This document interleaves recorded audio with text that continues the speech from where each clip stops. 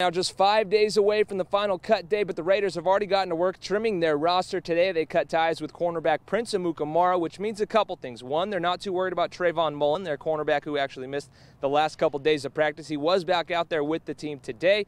Also, it's good news for the rookie first rounder, Damon Arnette. This has got to mean that he beat out Amukamara for that starting spot opposite of Trayvon Mullen there at corner. Speaking of missing practice, no Trent Brown or Marcus Mariota for the Raiders today, at least not during the stretching session that we were there for.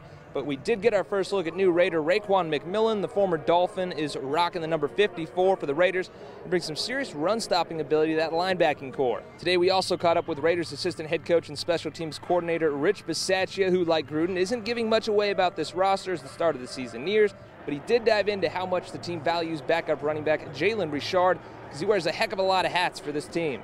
Jalen's played on, on teams, um, all, actually all four phases throughout the two years that we've been here, and I think the, the role will be the same. You know, we know he can back up all positions.